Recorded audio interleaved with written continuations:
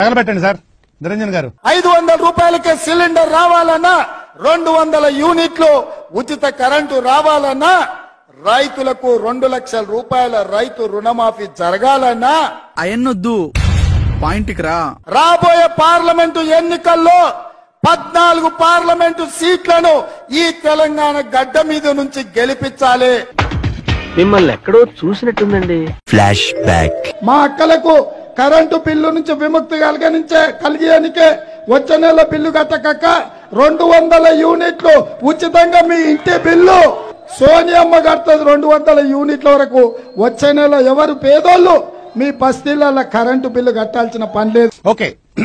Second అండి. నేనేం చెప్తున్నా అంటే రుణమాఫీ అయిన వాళ్ళు అందరు ఎంబడవై మళ్ళీ రెండు లక్షల రుణం తెచ్చుకోరి డిసెంబర్ తొమ్మిది నాడు నేను అవి మాఫీ చేస్తా. రుణమాఫీ అయిన వాళ్ళు అందరు ఎంబడవై మళ్ళీ రెండు లక్షల రుణం తెచ్చుకోరి డిసెంబర్ తొమ్మిది నాడు నేను అవి మాఫీ చేస్తా. కాబట్టి రైతులందరికీ నేను విజ్ఞప్తి చేస్తున్నా. మా చేత మోసపోవాలని ప్రజలు కోరుకుంటున్నారు. సరే వాళ్ళది కోరుకున్నప్పుడు మాదే ఉంది రోగి కోరుకున్నది అదే డాక్టర్ ఇచ్చింది అదే అన్నట్టు ఉంది వ్యవహారం. ఎందుకు ఎందుకు పుడతారో కూడా తెలియదండి. మనుషులు కొంతమంది.